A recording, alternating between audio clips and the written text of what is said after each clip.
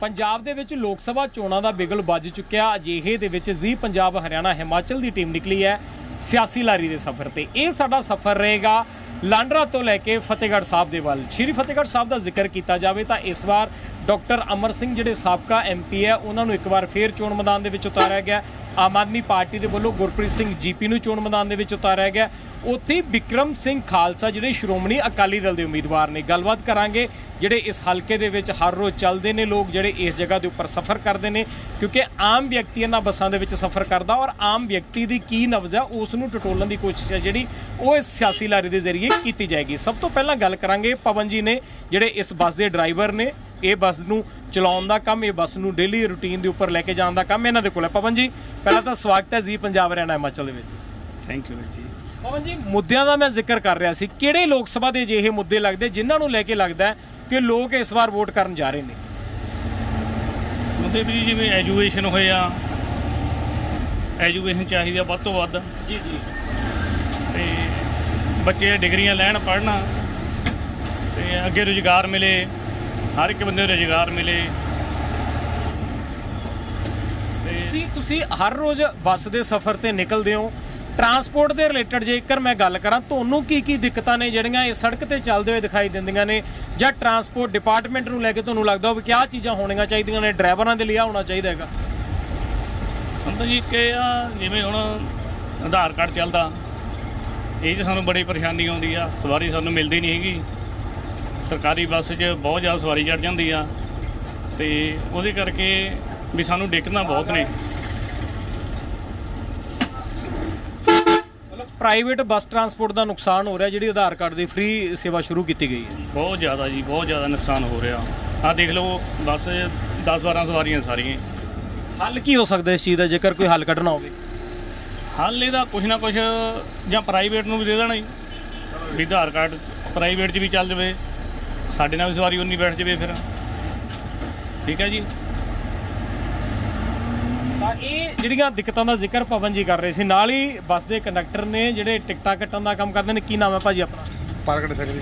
ਪ੍ਰਗਟ ਜੀ ਕੀ ਕੁਝ ਰਹਿੰਦਾ ਤੁਹਾਡਾ ਬੱਸ ਦੇ ਦੌਰਾਨ? ਕੀ ਕੀ ਦਿੱਕਤਾਂ ਲੱਗਦੀਆਂ ਨੇ? ਕੀ ਕੀ ਲੱਗਦਾ ਕਿ ਠੀਕ ਹੋ ਰਿਹਾ ਕੰਮ? ਜਾਂ ਕਿਹੜੇ ਕੰਮਾਂ ਨੂੰ ਲੈ ਕੇ ਵੋਟ ਤੁਹਾਨੂੰ ਲੱਗਦਾ ਲੋਕਾਂ ਨੂੰ ਕਰਨੀ ਚਾਹੀਦੀ ਹੈ? ਵੋਟ ਤਾਂ ਲੋਕਾਂ ਆਪ ਪਾਉਣੀ ਆ। ਵੋਟ ਆਪਾਂ ਥੋੜੋ ਪਾਉਣੀ ਆ ਵੋਟਾਂ ਦਾ ਆਪਣੀ ਮਰਜ਼ੀ ਹੋਊ ਲੋਕ ਤਾਂ ਪਾਉਣਗੇ ਜਾਣੀ ਦੀ ਇਹ ਚ ਇਹ ਕੈਪਟਨ ਕਹਿੰਦਾ ਜੀ ਮੈਂ ਘਰ ਘਰ ਨੌਕਰੀ ਦਊਗਾ। ਉਹ ਨੌਕਰੀਆਂ ਸਾਡੇ ਹੋਣ ਲੱਗ ਗਿਆ ਆਧਾਰ ਕਾਰਡ ਚੱਲ ਪਿਆ ਸਾਡਾ ਤਾਂ ਕੋਈ ਚੜਦਾ ਨਹੀਂ ਪ੍ਰਾਈਵੇਟ ਬੰਦ ਹੋਣ ਦੇ ਕੰਡੇ ਤੇ ਆ। ਅੱਧੇ ਲੋਕ ਸਾਈਕਲ ਮਾਲ ਖੜਾ ਕੇ ਹੀ ਭੱਜ ਗਏ। ਟੈਕਸ ਪੂਰਾ ਨਹੀਂ ਹੁੰਦਾ ਟੈਕਸ ਟੁੱਟੀ ਜਾਂਦਾ ਅਲ ਕਿੰਨਾ ਕੁ ਭਰੀ ਜਾਊਗਾ ਟੈਕਸ। ਟੈਕਸ ਮਾਫੀ ਵਰਗੀ ਕੋਈ ਯੋਜਨਾ ਲਿਆਉਣੀ ਚਾਹੀਦੀ? ਹੈ ਜਾਂ ਫਿਰ ਯੋਜਨਾ ਇਹਨਾਂ ਨੂੰ ਲਾ ਪ੍ਰਾਈਵੇਟ ਨੂੰ ਲਾ ਦੇਣ ਆਧਾਰ ਕਾਰਡ ਪ੍ਰਾਈਵੇਟ ਚਲਾ ਲੈਣ ਟੈਕਸ ਮਾਫ ਕਰ ਦੇਣ ਪ੍ਰਾਈਵੇਟ ਦਾ। ਤੁਹਾਡੇ ਬੱਚੇ ਹੋਣਗੇ, ਵਿਆਹ ਹੋਇਆ ਹੋਏਗਾ, ਪੜ੍ਹਦੇ ਹੋਣਗੇ, ਉਹਨਾਂ ਦੇ ਲਈ ਕੀ ਲੱਗਦਾ ਹੈਗਾ? ਗਾਹਾਂ ਟਾਈਮ ਖਰਾਬ ਹੀ ਆਉਂਦਾ ਵੀਰੇ, ਸਮਾਂ ਖਰਾਬ ਹੀ ਇਦੋਂ ਇਦੋਂ ਗਾਹਾਂ ਖਰਾਬ ਹੀ ਆਉਣਾ। ਲੀਡਰ ਆਪਣੀਆਂ ਕੋਠੀਆਂ ਪਾਈ ਜਾਂਦੇ ਨੇ ਲੀਡਰਾਂ ਦਾ ਆਪਦੇ ਕੋਲ ਪੈਸਾ ਬਹੁਤ ਆ ਉਹਨਾਂ ਕੋਲ। ਉਹਨਾਂ ਦਾ ਜਵਾਬ ਪੜ੍ਹਦੇ ਨੇ ਬੜੇ ਬੜੇ ਸਕੂਲਾਂ ਦੇ ਕਾਲਜਾਂ ਦੇ ਫਾਰਡ ਬਾਹਰ ਜਾਂਦੇ ਨੇ। ਗਰੀਬ ਦਾ ਬੰਦਾ, ਗਰੀਬ ਥੱਲੇ ਆਈ ਜਾਂਦਾ। ਸਿਹਤ ਸਹੂਲਤਾਂ ਦਾ ਕਿਵੇਂ ਕਰਦੇ ਹੋ? ਬਿਮਾਰ ਹੋ ਜਾਂਦੇ ਹੋਣਗੇ ਕੰਮ ਕਰਦੇ ਲੱਗਦਾ ਕਿ ਇਲਾਜ ਸਸਤੇ ਹੋ ਰਹੇ ਮੁਫਤ ਹੋ ਰਹੇ? ਇਲਾਜ ਦਾ ਬਹੁਤ ਮਹਿੰਗਾ ਬਾਈ 700 ਰੁਪਏ ਪਰਚੀ ਪਹਿਲਾਂ ਲਿਖਣ ਦੀ ਲੈਂਦੇ ਨੇ। ਫਿਰ ਗਾਹਾਂ ਦਵਾਈ ਦੇਣੀ ਆ।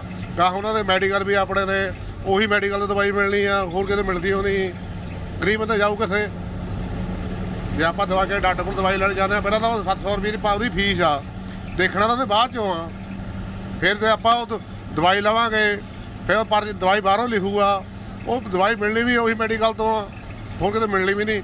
ਫਤਿਹਗੜ੍ਹ ਸਾਹਿਬ ਏਰੀਆ ਫਤਿਹਗੜ੍ਹ ਚ ਵੀ ਆਮ ਆਦਮੀ ਪਾਰਟੀ ਦੇ ਬਹੁਤ ਸਾਰੇ ਐਮਐਲਏ ਜਿੱਤੇ ਆ। ਲੱਗਦਾ ਹੈ ਕਿ ਕੋਈ ਕੰਮ ਕਰ ਰਹੇ ਆ? ਕੋਈ ਨਹੀਂ ਕਰਦਾ। ਸਭ ਆਪਦੇ ਆਪਦੇ ਦੇਖਦੇ ਨੇ। ਐਮਐਲਏ ਕਿਹੜੇ ਨਿਕਲਦਾ? ਇੱਕ ਵਾਰੀ ਜਿੱਤ ਗਏ 5 ਸਾਲ ਬਾਅਦ ਨਿਕਲਣਗੇ। ਹੁਣ ਵੋਟਾਂ ਆ ਗਈਆਂ। ਹੁਣ ਫਿਰਨਗੇ ਆਲੇ ਦਾਲੇ ਸਾਨੂੰ ਪਾਓ ਬਾਅਦ ਫੇਰ ਲੋਕ ਜਾਣਾ ਇਹਨਾਂ ਨੇ। ਪਾਰਟੀਆਂ ਹੋਰ ਵੀ ਬਹੁਤ ਹੈ ਬਾਕੀਆਂ ਪਾਰਟੀਆਂ ਦੇ ਕਿਵੇਂ ਲੱਗ ਰਿਹਾ ਕੰਮ? ਸਾਰੇ ਪਾਰਟੀਆਂ ਰਲੀਆਂ ਹੋਈਆਂ ਨੇ। ਇੱਕ ਦੂਜੇ ਨਾਲ ਅੱਡ ਕਿਹੜੀ ਆ? ਸਭ ਰਲੀਆਂ ਹੋਏ ਨੇ।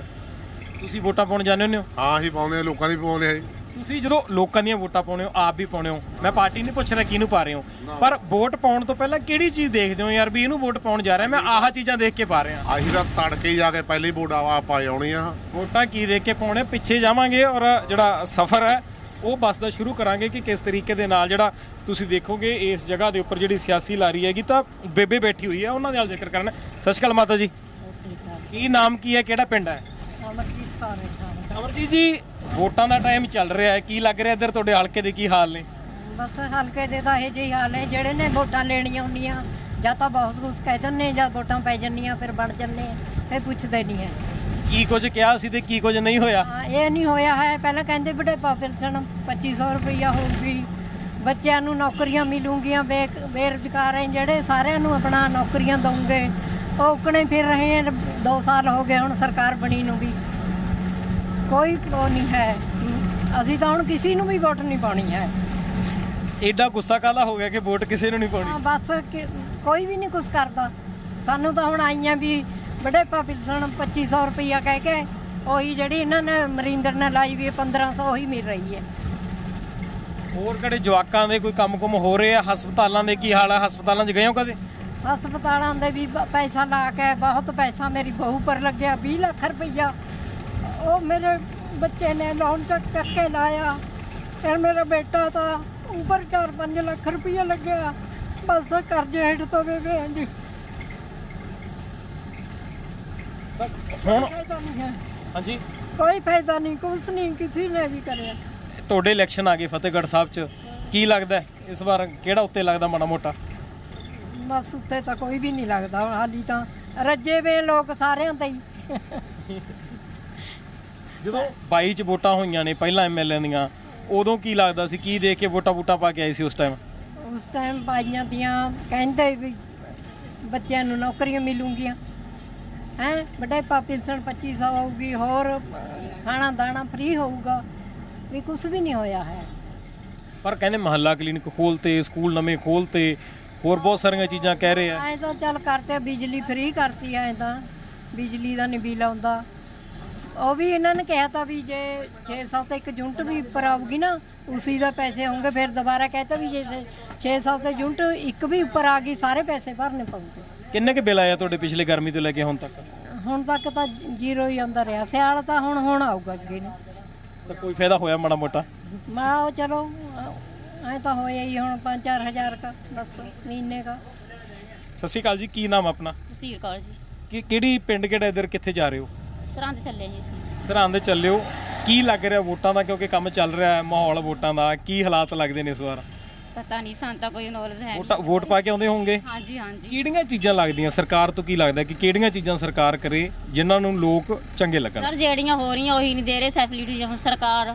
ਹੁਣ ਜਦ ਕਹਿੰਦੇ ਭਗਵੰਤ ਮਾਨ ਜਿੱਤੂਗਾ ਹਜ਼ਾਰ ਹਜ਼ਾਰ ਰੁਪਇਆ ਪਾਣਗੇ ਉਹ ਨਹੀਂ ਕਿਸੇ ਨੇ ਪਾਇਆ ਜੀ ਹਜੇ ਤੱਕ ਕੁਝ ਨਹੀਂ ਆਇਆ ਪਿੱਛੋਂ ਸਰਕਾਰ। ਸਾਨੂੰ ਤਾਂ ਜੀ ਕੋਈ ਸੁਵਿਧਾ ਹੈ ਨਹੀਂ ਸਰਕਾਰ ਦੀ। ਕੋਈ ਸਕੂਲਾਂ ਦਾ ਹਸਪਤਾਲਾਂ ਦਾ ਕੋਈ ਫ਼ਰਕ ਪਿਆ? ਦਾ ਫ਼ਰਕ ਹੈ ਜੀ ਹਾਂਜੀ ਸਕੂਲਾਂ ਵਿੱਚ ਸੋਹਣੀ ਸਟੱਡੀ ਹੋ ਰਹੀ ਹੈ ਬੱਚਿਆਂ ਨੂੰ ਸੋਹਣਾ ਦੇ ਰਹੇ ਹੈ ਤੇ ਹਸਪਤਾਲਾਂ ਵਿੱਚ ਵੀ ਵਧੀਆ ਹੁਣ ਹੋ ਰਿਹਾ ਅਰੇਂਜਮੈਂਟ ਹੁਣ ਆਪਾਂ ਮਰੀਜ਼ ਨੂੰ ਲੈ ਕੇ ਜਾਂਦੇ ਆ ਵਧੀਆ ਕੇਅਰ ਕਰਦੇ ਨੇ ਸਰਕਾਰੀ ਹਸਪਤਾਲਾਂ 'ਚ। ਇੰਨਾ ਕੁ ਤਾਂ ਹੈਗਾ। ਆਮ ਆਦਮੀ ਕਲੀਨਿਕ ਦਾ ਜ਼ਿਕਰ ਹੋਇਆ ਸਕੂਲ ਆਫ ਐਮਿਨੈਂਸ ਦਾ ਜ਼ਿਕਰ ਹੋਇਆ ਲੱਗਦਾ ਕਿ ਕੋਈ ਫ਼ਰਕ ਪਿਆ ਉਹਨਾਂ ਚੀਜ਼ਾਂ ਦੇ ਨਾਲ? ਹਾਂਜੀ ਉਹਨਾਂ ਦਾ ਹੈਗਾ ਥੋੜਾ ਬਹੁਤਾ। ਇੰਨਾ ਕੁ ਤਾਂ ਹੈਗਾ ਵੀ ਥੋੜਾ ਬਹੁਤਾ ਹੋ ਰਿਹਾ ਹੈ ਚੇਂਜ ਪਰ ਅੱਗੇ ਹੁਣ ਦੇਖੋ ਕੀ ਬਣਦਾ ਹੁਣ ਅਗਲੀ ਸਰਕਾਰ ਆਉਂਦੀ। ਜਿੱਦਾਂ ਦੁਬਾਰੇ ਵੋਟਾਂ ਆ ਰਹੀਆਂ ਐਮਪੀ ਦੀਆਂ ਵੋਟਾਂ ਆ ਰਹੀਆਂ ਤੁਸੀਂ ਕਿਹੜੀਆਂ ਚੀਜ਼ਾਂ ਦੇਖ ਕੇ ਵੋਟ ਪਾ ਕੇ ਆਓਗੇ ਪਾਰਟੀ ਨਹੀਂ ਮੈਂ ਪੁੱਛਦਾ ਕਿਹੜੀਆਂ ਚੀਜ਼ਾਂ ਤੁਹਾਨੂੰ ਲੱਗਦੀਆਂ ਕਿ ਇਹਨਾਂ ਚੀਜ਼ਾਂ ਨੂੰ ਦੇਖ ਕੇ ਵੋਟ ਪਾ ਕੇ ਆਉਣੀਆਂ ਸੀ? ਸਰ ਹੁਣ ਦੇਖੋ ਚੀਜ਼ਾਂ ਤਾਂ ਕਈ ਆ ਜਾਂਦੀਆਂ ਨੇ ਵਿੱਚ ਹੁਣ ਬੱਚਿਆਂ ਦੇ ਕੈਰੀਅਰ ਵਾਰੀ ਵੀ ਆ ਜਾਂਦਾ ਹੈ ਆਪਣੇ ਸੁਵਿਧਾ ਵਾਰੀ ਵੀ ਆ ਜਾਂਦਾ ਬੜੇਪੇ ਵਾਰੀ ਵੀ ਆ ਜਾਂਦਾ ਵੀ ਹੁਣ ਗਾਹਾਂ ਨੂੰ ਸਾਨੂੰ ਕੋਈ ਸੁਵਿਧਾ ਮਿਲੇ।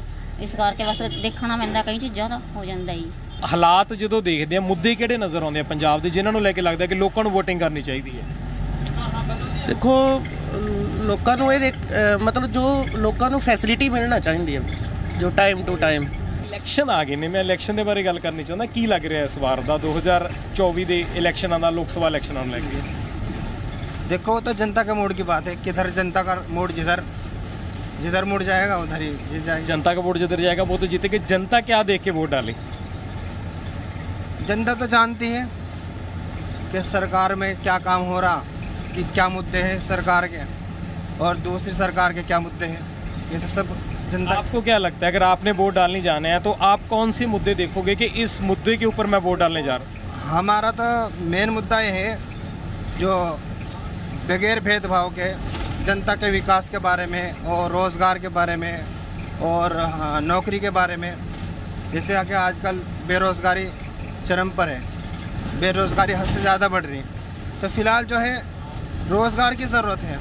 क्योंकि अगर रोज़गार होगा तो आदमी खुद फिर जो है, उसे करने की आदत रहेगी और पढ़ाई की भी एक अहमियत होगी। न्यू जनरेशन के लिए पढ़ाई होना ज़रूरी है।